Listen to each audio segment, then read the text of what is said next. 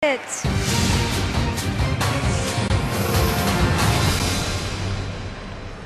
Now we are ready for the results from Turkey.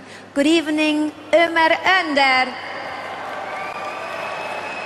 He looks like he means business. Du siehst wunderschön aus. I think Good Abend Düsseldorf. Good evening Europe.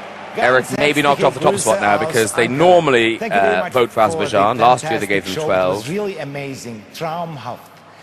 Here are the results of the Turkish vote.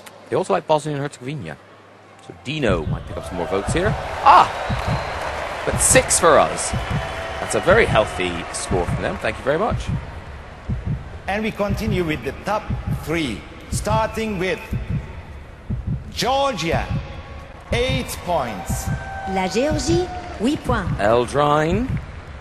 I can't believe that is on the left hand side of the scoreboard. Bosnia-Herzegovina, 10 points. La Bosnie-Herzégovine. Okay, looks like it's all going to form, and Azerbaijan will get the 12, I imagine. And finally, our 12 points go to Azerbaijan. There you go. Azerbaijan, 12 points. Dankeschön, Ömer. Back in the lead. Oh, it's quite fleeting for poor Eric. Glad they got to interview him then.